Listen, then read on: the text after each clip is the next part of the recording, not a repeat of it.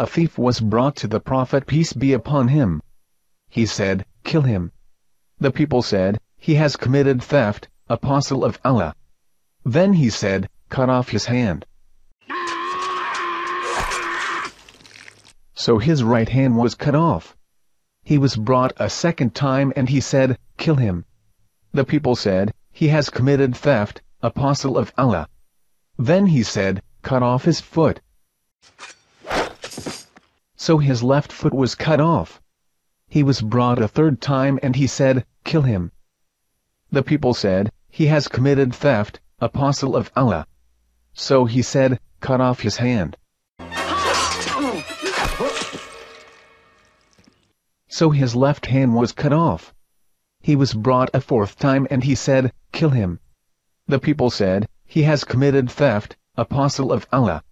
So he said, Cut off his foot.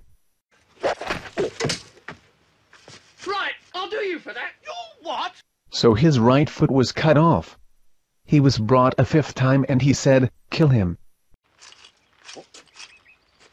So we took him away and killed him.